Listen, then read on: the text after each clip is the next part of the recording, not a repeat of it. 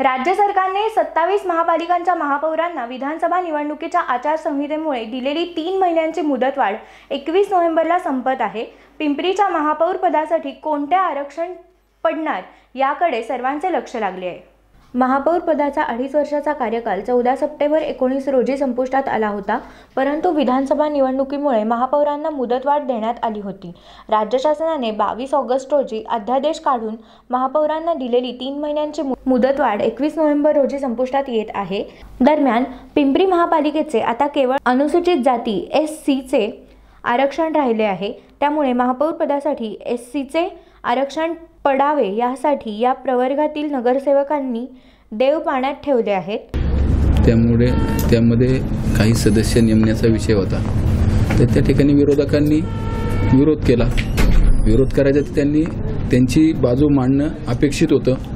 त्या सभागृहामध्ये त्यांनी बोलताना जो काही त्यांना विरोध करायचा त्यांनी करायचा होता त्या ठिकाणी.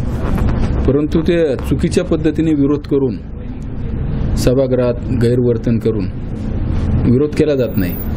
त्यामुळे त्यांनी ज्या पद्धतीने विरोध केलेला आहे त्या विरोधाला विरोधामध्ये काही तथ्य नाही. जो विरोध त्यांना करायचा आहे त्यांनी पुराव्यानिशी करावा.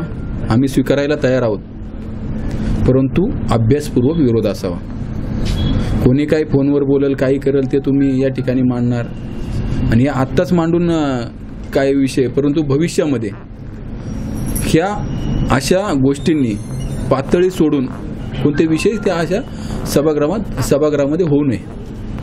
त्यामुळे त्यांना आपण कागदोपत्री किंवा पुराव्यानिशी बोलावं अशी वारंवार विनंती करून देखील त्या ठिकाणी त्यांनी चुकीच्या पद्धतीने विरोध केला. त्यामुळं त्या ठिकाणी त्या सभागृहाचा देखील अवमान विरोधी पक्षाच्या नगरसेवकांनी आणि विरोधी पक्षनेत्यांनी देखील केलेला आहे.